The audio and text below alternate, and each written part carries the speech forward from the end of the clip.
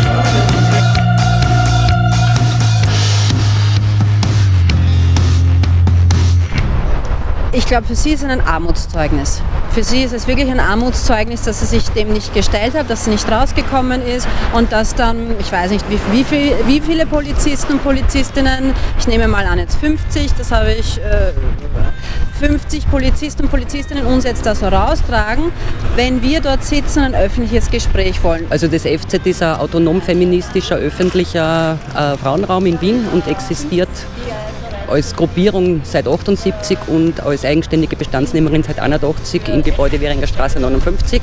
Das Skandalöse daran ist, dass sie einen Mietvertrag wollen mit dem BUK alleine und das FZ als eigenständige Frauenstruktur und eigenständige Bestandsnehmerin dem WUK unterstellt, worden sind, äh, unterstellt werden sollen. Und wir verstehen das als eine patriarchale Enteignung und auch als eine Form von Zwangsverheiratung und die wir so nicht hinnehmen, weil das politisch ein Skandal ist. Wir wollten ein öffentliches Gespräch mit ihr haben, damit sie Stellungnahme dazu bezieht, was da abläuft und dass wir unsere Kritikpunkte ihr sagen und dass das jetzt nicht so, wie gesagt, im Hinterkammel passiert. Äh, und da war sie einfach zu feig rauszukommen.